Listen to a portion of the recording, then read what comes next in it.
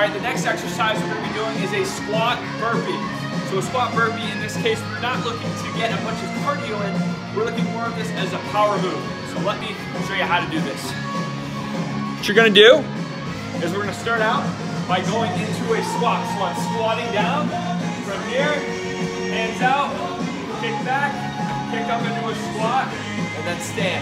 And then you can clap overhead. So I'm squatting, right and overhead. So it's more of a squatting motion versus coming here and up and up.